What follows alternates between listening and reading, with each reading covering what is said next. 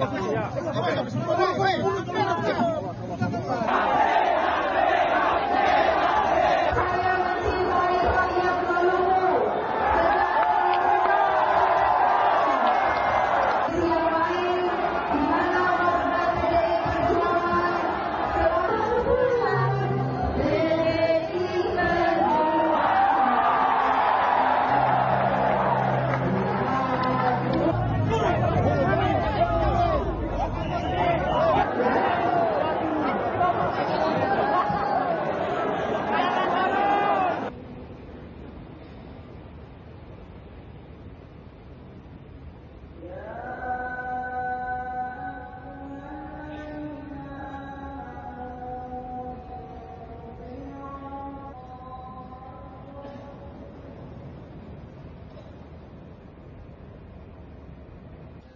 Kepresidenan di Indonesia itu sudah empat kali lelaki.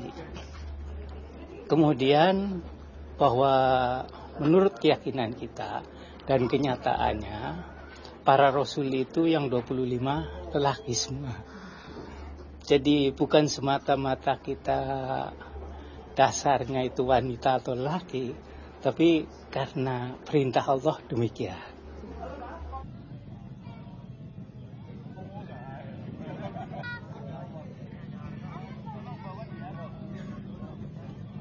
Kayak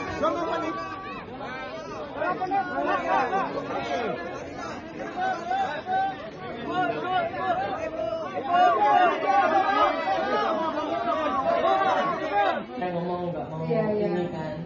Ya ambil deh semua elemen nanti ambil dari Undang-Undang Dasar 45 itu menunjukkan bahwa presiden dipilih oleh MPR, maka siapa pun yang dipilih oleh MPR jangan kemudian diintervensi oleh produk-produk hukum agama tertentu. Siapa pun yang dipilih mes- mestinya semuanya bisa bersepakat untuk bisa menyetujui hasil pilihan terakhir dari mandataris MPR itu. Itu kan sekian, Pak Habibie sekian. Itu saya senang. Ibaratnya lima itu sampai di leher. Sangat mungkin ketika misalnya kemudian di dalam proses perumusan mekanisme pencalonan nanti ternyata deadlock, sangat mungkin kemudian muncul figur-figur alternatif. Figur-figur alternatif itu saya meyakini laki-laki dan Islam.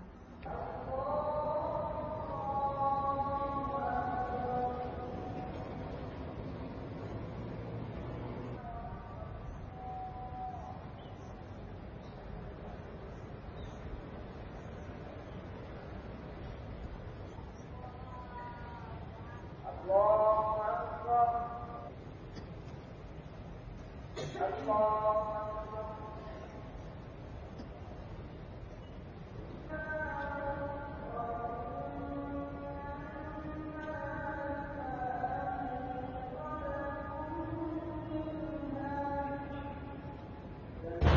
saya saya secara pribadi ya. Kalau soal presiden wanita ya saya nggak masalah. Meskipun saya orang muslim. Contohnya udah banyak. Bangladesh Pakistan beberapa negara lain ya buat saya nggak ada masalah pribadi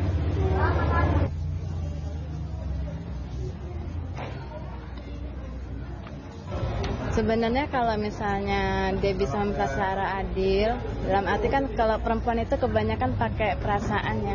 Kalau dia bisa pakai logikanya, pikirannya bisa maju, kayaknya nggak apa-apa deh.